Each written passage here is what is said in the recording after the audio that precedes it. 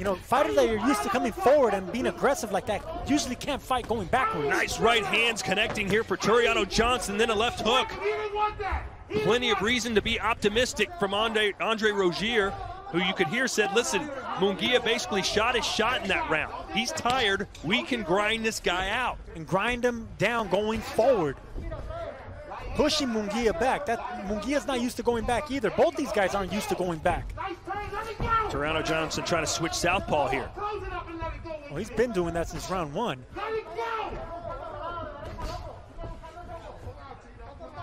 But like I said, Todd, with a style like Tureano Johnson, it doesn't matter if he's southpaw or orthodox. You're getting the same punches thrown from the same directions and same angles.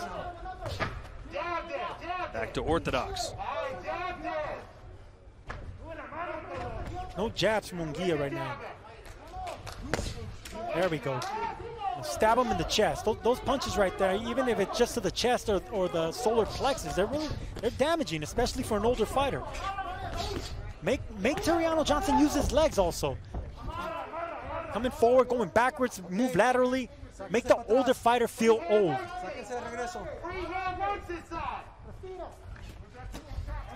Good uppercut again.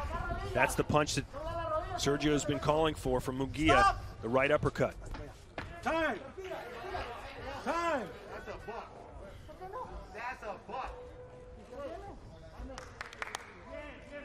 Tureano Johnson cut badly from that left eye. Doc, he's got a terrible cut on his lip. Oh, his lip. lip. Oh, boy.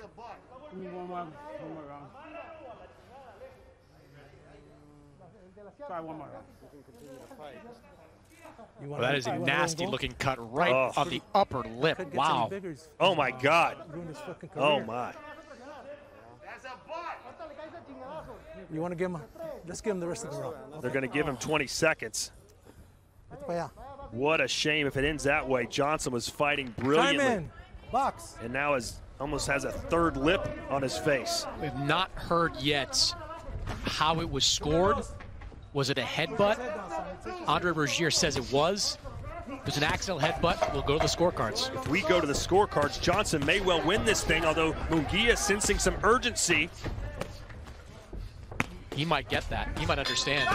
Oh, and a late punch there from Munguia. The referee apparently not going to warn him for it. And now let's see what the corner can do, if anything, to stop the bleeding and get this lip back together. I don't think this fight continues, it's, and it's a shame because Johnson was doing well, maybe ahead on the scorecards, but with a cut like that on the lip, I just don't see them letting, allowing them to go because he's bleeding from his eye and his lip. The lip's hanging. Uh, I don't think I've ever seen a cut on the lip that bad. It's not even a cut, Chris. And if I had if I had to say whether it was a, an elbow or a head, but I want to say it's that right uppercut that Munguia has been landing. He just caught he, he caught Johnson cleanly on that lip and that side of the mouth. And they have stopped it, I believe. No, they should stop it. But how are they scoring it? We're not ringside, of course. But how are they scoring the stoppage? Are they saying it was a headbutt or are they saying it was a punch? If it was a punch, that's it's, a stoppage. Yeah, it's a TKO win. Boy, that is incredible. Just in time for Halloween.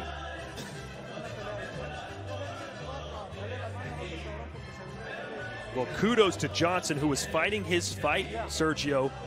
Let me have you play Nostradamus here. If that continued for 12 rounds, who was going to win that fight? If that continued for 12 rounds, we expected what we were going to get, and that's two big middleweights, and it was going to be a battle of attrition. I think the, the momentum started switching to Johnson's uh, uh, on Johnson's corner. I mean, it was such a back and forth fight. It's just a shame it ended this way. But look, it, it's that right. Oh, you could see the blood shooting off the face of Johnson. It was the right uppercut from Munguia that busted his lip wide open. Look at this. Boom. If that's the case, that's a knockout win for Jaime Munguia. And I told you it was it was going to be between the right uppercut of Munguia and the right chopping right hand of Tureano Johnson. We see that Munguia's right oh. uppercut. Too much damage right there. And if you've ever wondered how hard Munguia can hit, he just exploded Johnson's face with a right uppercut. And if you wondered if Munguia can punch going backwards, stepping backwards, we just found that out as well. And Tom, they, they are scoring this as a punch, and it'll be a TKO or a KO for Jaime Munguia.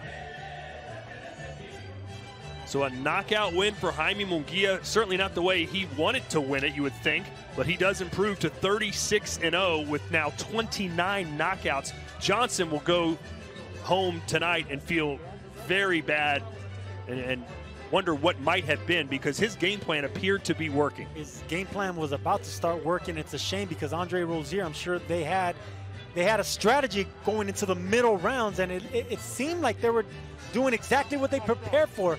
But credit to Munguia because Munguia did some things that I didn't think he had in his arsenal, like punching backwards and stepping back and landing that right uppercut that ultimately ended the fight.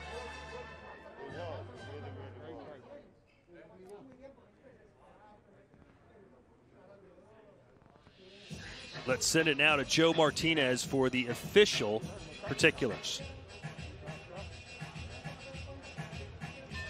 Ladies and gentlemen, at the end of round number six, referee Raul Caiz Sr. calls a halt to this bout, declaring your winner by KO victory. He is still undefeated and still WBO Intercontinental Middleweight Champion, Jaime Munguia.